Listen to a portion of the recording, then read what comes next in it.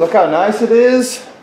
The whole garage is open. I mean, it's only like 50, 58 in the garage, but it's like 63 outside. It's gonna be 64 tomorrow. So freaking awesome. Hannah's off every day through Friday, except for Thursday. So great. So happy Merry Christmas Eve. Look at that. Oh, yes. Open up the whole shop, got the room opened up. Need to run over to the other land and get a and another vine so she can make another wreath for one of the girls at work. So we'll take the side by side, but I know I need to probably air up one of the front tires. This front tire just leaks down a wee little bit.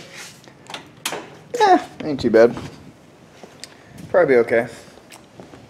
Good. Wish it was have my transaxle back and put this motor and everything in when it's gonna be 67 degrees. Wouldn't that be awesome? But so glad I got that rear main seal done and the other little stuff that I wanted to get done. So great. Uh, I need to grill too. Maybe I'll grill now. Kind of hungry. Stomach. I don't know why my stomach's so upset. Maybe I need to poop. I don't know. Dog's been outside all day enjoying everything.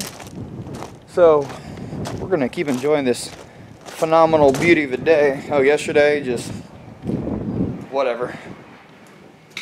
Physical therapy was rough, hurt. Came home, chilled, relaxed, rest the night, made some dinner. That was it. Simple and easy, right?